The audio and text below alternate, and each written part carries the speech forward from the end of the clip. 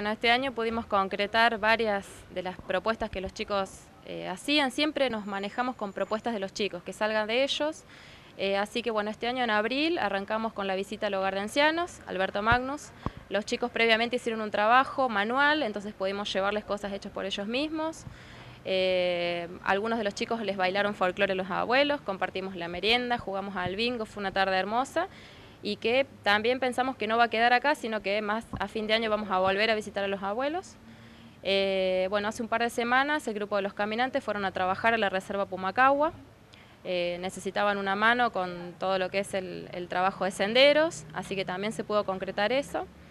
Eh, y bueno, ahora tenemos esta actividad que nos parece muy importante y después, bueno, como actividades internas seguimos con nuestros campamentos.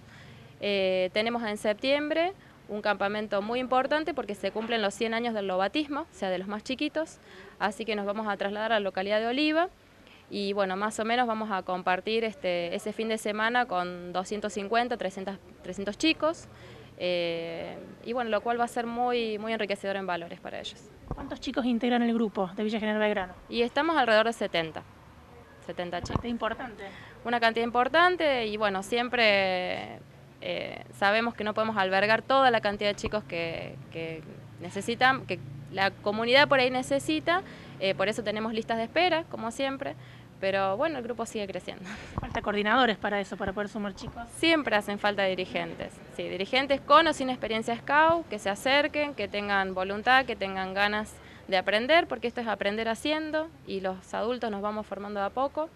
Así que bueno, pero puertas abiertas. Las puertas están abiertas, como siempre.